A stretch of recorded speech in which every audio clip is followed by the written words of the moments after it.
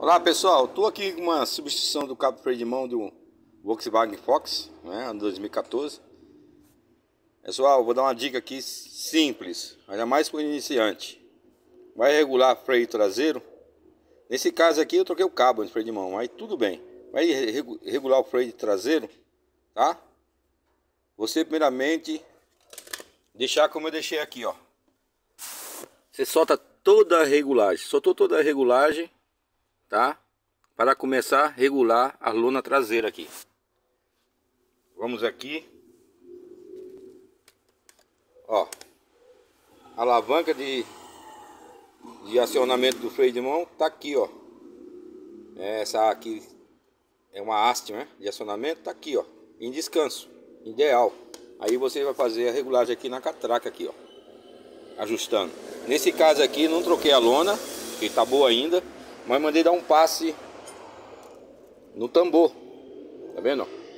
Para que eu possa fazer um ajuste fino aqui. Tá bom? Vou mostrar para vocês aqui. Aí pessoal, eu ajustei aqui agora, né? Agora vou pôr no lugar o tambor. A gente nota, por experiência, tá segurando um pouco, tá bom. Entendeu? Não tá preso, tá? Agora eu vou lá na alavanca do freio de mão, vou fazer uma uma regulagem, tá? Para ver o máximo quatro dentes e, e ele esteja freando, funcionando muito bem, tá bom? É assim que a gente faz.